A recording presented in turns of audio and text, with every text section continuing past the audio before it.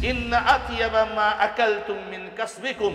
सबसे बेहतरीन रोजी वो है जो तुमने अपने हाथों से कमाया है। नबी अलैहिस्सलाम फरमाते हैं कि तुम में से कोई आदमी लकड़े का बोझ अपने पीठ पर रख करके बाज़ार में जाकर के बेच कर रोजी हासिल करे, ये उसके लिए बेहतर है कि किसी से मांगे। लेकिन इस्लाम ने इस बात की इजाज़त दी है कि अगर आपकी ज़िंदगी में कोई ऐसा मोड़ आ जाता है जिसमें आपने अखराज को नहीं पूरा कर पा रहे हैं तो आप वक्ती तौर से किसी से कुछ माल ले लें और कुछ दिनों के बाद उसको वापस कर दें। इसी को कर्ज कहा जाता है। इसी कर्ज के मसाइल को बयान करने के लिए हम आपके सामने हाजिर हैं।